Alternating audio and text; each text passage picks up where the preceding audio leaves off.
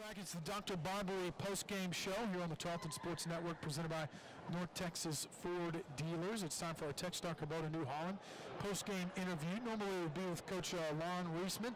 Uh, tonight, though, we're going to have a special guest. Ryan Cox joins us uh, as he got to witness the whole game. Of course, Ryan uh, in the communications department for Tarleton uh, State University. And Ryan, we had uh, it's just kind of one of those games where the Texans didn't feel like they could ever really you know, get the ball rolling, and stay consistent. They had one guy that did most of the work offensively most of the night. Of course, of course Chance Chambers with a great game, but didn't get a lot of help from, from a lot of people. I think the big thing that stands out here in this contest, and I talked about it most of the game, was bench points. The Texans got outscored 35 to five. Yeah, and that can't happen. I mean, we have a, a, deep team, a lot of guys that could come in and step up and score offensively, play good defense. That just didn't happen tonight. And uh, anytime we score, we're known for our defense, but we couldn't get that stop we needed. You know, uh, A&M Commerce, they could they couldn't miss from the outside. It seemed like.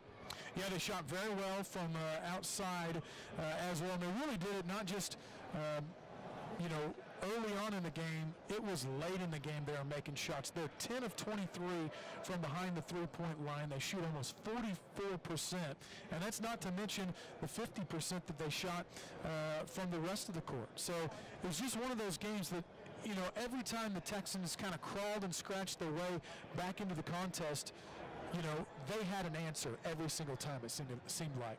Yeah, without a doubt. They made uh, 10 three-pointers. We only had seven, but two of those were down in the final seconds of the game. So we, we struggled from the outside. But another thing that stands out, the ball movement. We only had six assists in the game. Yeah. They had 17 to our 13 turnovers. You can't have six assists and 13 turnovers to try to win on the road. Yeah, and when a team that does so good like the Lions have done all season uh, on limiting the amount of turnovers, they only had nine turnovers in the contest. That really, um, especially when you're trying to come back, if a team doesn't turn the ball over, how are you going to get back in the game uh, that you're down double digits. Absolutely, and uh, teams, I mean, the way we've been playing this year, teams have to play a near perfect game to beat us, even on the road. That, that just shows how good of a team Tarleton is. And uh, A&M Commerce, they drew it up just how they wanted. But you have, you know, most of your starters only scoring, no bench production, the ball's not moving, uh, big men are getting in foul trouble. That's the game plan to beat us, and that's what uh, that's what Texas A&M Commerce did tonight.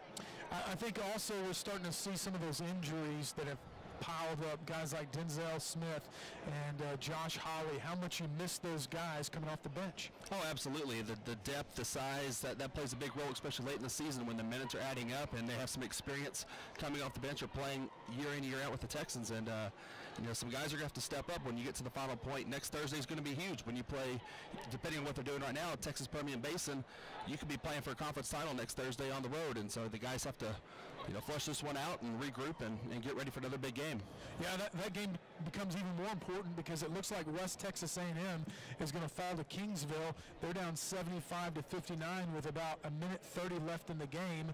It is a close state. Texas Permian Basin close game, I should say. Texas Permian Basin leading Angelo State 69 to 66. So we'll have to keep an eye on that one for the rest of the night. But yeah, uh, if both team, if things play out like they are right now, you're looking at that Thursday night game and a victory for your Texans being an outright championship in the Lone Star Conference. Absolutely, and. Uh, you know, you want to win every game you play, but also in a sense, you know, it adds more excitement for coming up for next Thursday because you want to be able to control how things play out. And the Texans have the control in their hands now. If they win, they're the conference champions coming up on Thursday, and that's you know that's what you work all hard, work hard for all season long, and now they have that chance. Final thought, you know, the regional rankings came out yesterday. The Texans were first. We'll have to keep an eye on that for next week because they won't play again before the next rankings come out next Wednesday. So we'll have to keep an eye on that and see where that goes. I still think they have a very good chance to host those if they can make another run and put things together going into the Lone Star Conference. Ryan, hey man, thanks for joining us tonight. Enjoyed it. Enjoyed it. Well, hey, stay safe. Uh, stay safe. You, you rode separate from the team tonight.